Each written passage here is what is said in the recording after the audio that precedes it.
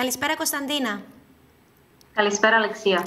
Λοιπόν Κωνσταντίνα, έρχεται στην Κύπρο το χάπι της ε, Pfizer. Πότε περίπου το αναμένουμε; Στα μέσα Φεβρουαρίου εκτιμάται Αλεξία ότι θα έρθει στην Κύπρο το χάπι της Pfizer και συγκεκριμένα με την ονομασία Paxlovid, το οποίο είναι αποτελεσματικό έως και 90% να πούμε στην πρόληψη των νοσηλιών αλλά και την αποτροπή θανάτων από κορονοϊό. Μιλώντας τώρα στην offset, η αναπληρώτρια διευθύντρια των φαρμακευτικών υπηρεσιών, η κυρία Έλενα Παναγιοτοπούλου, μας ανέφερε πως θα έχουν ήδη παραγγελθεί μεγάλες ποσότητες ώστε να καλυφθεί η θεραπεία πέραν των 15 συνολικά χιλιάδων ασθενών. Γνωρίζουμε σε ποιους και πώς θα δοθεί το συγκεκριμένο χάπι στην ουσία.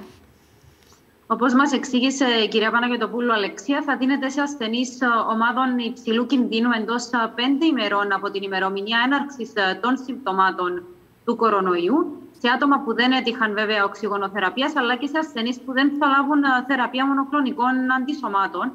Το συγκεκριμένο χάπι Αλεξία να πούμε ότι δεν θα μπορεί να χορηγηθεί σε εγκυμονούσες και φυλάζουσες μητέρες, καθώ επίσης και σε άτομα με υπατική και νεφρική ανεπάρκεια. Καταληκτικά, Αλεξία, να αναφέρουμε πως θα συνταγογραφείται από προσωπικούς γιατρούς αλλά και άλλες ειδικότητες μέσω του συστήματος του Οργανισμού Ασφάλισης Υγείας.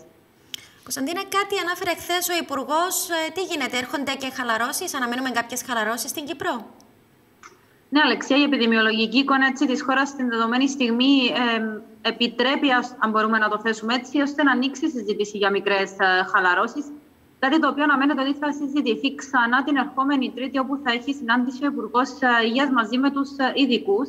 Ήδη έγινε μια πρώτη συζήτηση την προηγούμενη Τρίτη, όπου συναντήθηκαν ξανά θα επαναλάβουν ε, ξανά τις εισηγήσεις τους και να πούμε ότι μεταξύ άλλων ε, εξετάζεται για τα παιδιά 12 με 17 ετών ε, που δεν είναι εμβολιασμένα να τους δοθεί έτσι η ευκαιρία να πηγαίνουν σε καφετέρια ή εστιατόρια με την επίδειξη ε, rapid test ε, ή safe pass, ενώ παράλληλα ίσως υπάρξει και μία αύξηση στον αριθμό των ατόμων για γάμους και βαφτίσεις, αλλά και να επιτραπεί ξανά και ο χορός σε χώρους εστίασης.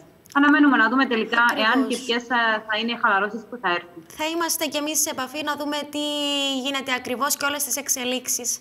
Να σε ευχαριστήσουμε, Κωνσταντίνα.